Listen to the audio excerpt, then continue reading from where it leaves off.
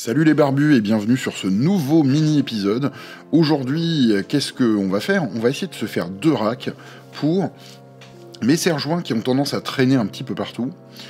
Euh, et je vais utiliser pour ça des planches de pain euh, de pas très très bonne qualité, mais pas chères, que je suis allé acheter dans mon magasin de bricolage habituel. Je les ai découpées à peu près à la taille d'un A4, puisque j'ai créé des templates qui d'ailleurs sont disponibles. Un lien de téléchargement euh, est présent dans la description. Euh, j'ai créé des templates et donc je vais les coller directement avec de la colle en spray sur le bois pour pouvoir euh, découper tous ces éléments. Avant de les découper, on va faire des trous. Des petits trous, toujours des petits trous, d'abord en utilisant un maillet et un pointeau, et ensuite en passant à la perceuse à colonne. Euh, pour ça, plusieurs diamètres. Euh, il y a du 6, du 16, du 10, du 12. Vous verrez, tout est marqué dans euh, les templates. Et donc j'utilise aussi bien des fraises à bois que des mèches à bois standard. Je perce un peu partout. Là, c'est pour le grand modèle. Et je vais passer au petit modèle, qui lui, si je me souviens bien, a des trous de 10 mm et de 6 mm. Euh, le but ici est bien sûr de préparer pour euh, le, le, sciage avec euh, ma scie à ruban. Et là, je vois que j'ai particulièrement besoin de me fabriquer un petit élément pour ma perceuse à colonne. Je fais, je découpe le premier du petit gabarit et ça rentre nickel. Donc on va industrialiser un tout petit peu le processus.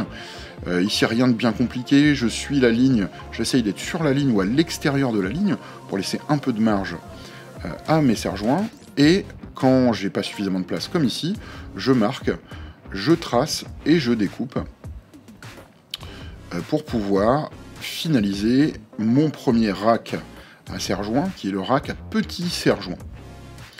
Rien de bien compliqué. Euh, ça fait un tout petit peu de poussière, mais c'est pas dramatique.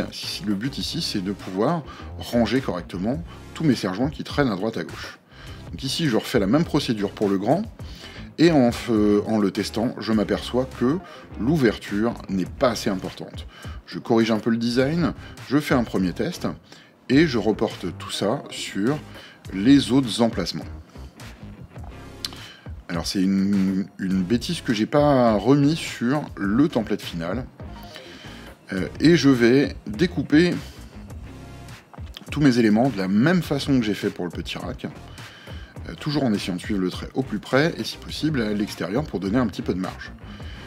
Euh, là aussi, je passe par l'extérieur et je teste mon serre-joint, mon plus gros serre-joint sur le rack. On va, passer donc à l'assemblage, et là aussi c'est relativement trivial. Je vais utiliser une perceuse pour faire les trous, je vais utiliser ma visseuse pour chanfreiner, et je vais utiliser ma visseuse à choc pour euh, eh ben, euh, mettre les vis dans mon nouveau rack. Je vais aussi euh, découper des coins que j'ai pas filmés. Euh, pour donner un tout petit peu plus de stabilité et de force à mon rack, même si là, euh, les serre-joints sont pas très très importants et font quelques centaines de grammes. Je fixe l'élément pour aller sur le French Clit et on va pouvoir installer tout ça. Et vous voyez, c'est bien rangé, c'est nickel, c'est merveilleux.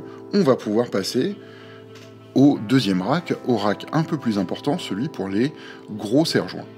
Là c'est pareil, colle, vis. Et par contre, là je vais euh, mettre un élément, un triangle de support sous chaque, euh, sous chaque morceau de bois. Le, le serre-joint est beaucoup plus lourd, il risquerait de casser la structure. Donc je la renforce suffisamment en mettant un élément sous chaque bras, entre guillemets, de mon rack à serre-joint. Il reste plus qu'à mettre eh ben, l'élément pour le mettre sur le French Clit et à aller installer tout ça. Euh, et vous allez voir, voilà mon rack qui est tout beau, tout joli pour ranger correctement euh, tous mes serre-joints. C'est génial. Merci beaucoup. À bientôt.